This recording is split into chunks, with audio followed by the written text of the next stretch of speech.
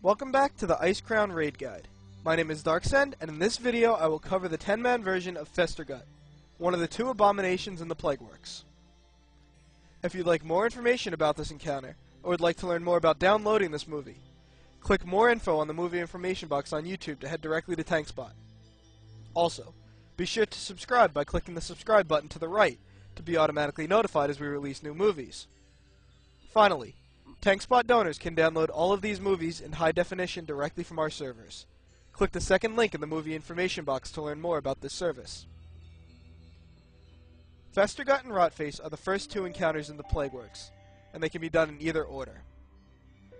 After you defeat Stinky and Precious, the two mini-bosses with mechanics similar to that of Gluth in Naxxramas, you head left down the hall to reach Festergut.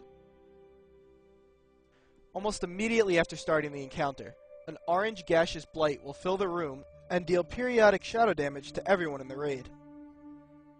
Every 34 seconds, Festergut will inhale some of that gas. While this will decrease the amount of periodic damage being done to the raid, it will also cause him to gain a stacking buff called Inhaled Blight. This buff increases Festergut's physical damage, as well as increasing his attack speed, both by 30%.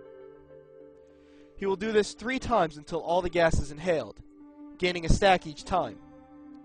When he reaches three stacks, the tank needs to begin rotating his or her own cooldowns, as well as any external cooldowns, to survive until the next ability 34 seconds later. This ability will be Pungent Blight. Pungent Blight deals massive shadow damage to the entire raid by releasing all the inhaled gas back into the room. This will resume the raid damage, but it will also completely remove Festergut's buff. This cycle repeats until the 5 minute enrage timer. In order to counter Pungent Blight, every 40 to 50 seconds, two random raid members will get a debuff called Gas Spore. When the spore explodes, it will hit everyone nearby with a dot called Blighted Spores. When this dot runs out, however, you will become inoculated. Inoculated is a stacking debuff which actually helps you. Every stack of it decreases the shadow damage you receive by 25%. However, the counter works both ways.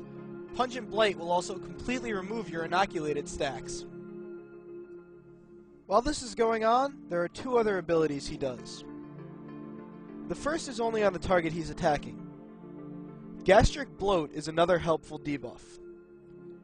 It does about 10k damage when the stack is applied, but each stack increases the tank's damage by 10%. The downside is, if the stack reaches 10, the tank will instantly explode, killing himself and dealing about 30,000 damage to all raid members in range. This is actually a good thing though, because by forcing a tank transition like this, you will always guarantee you have a second tank ready with a second set of cooldowns for the next 3 stack of Inhaled Blight.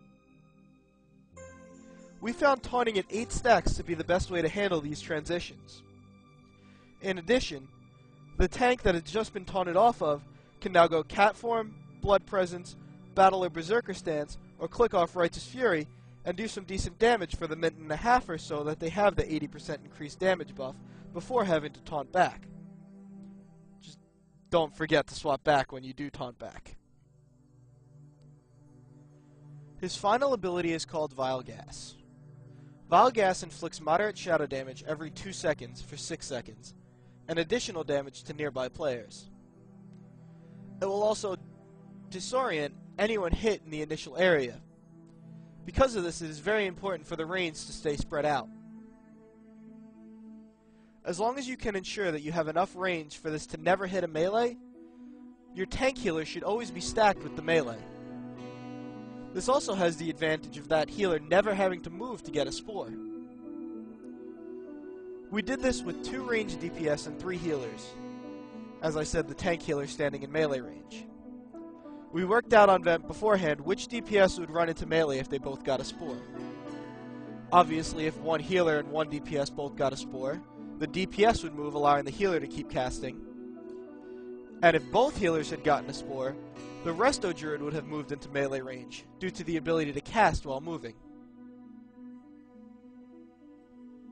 Thanks for watching this movie.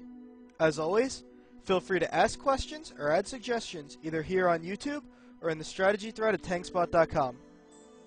Good luck.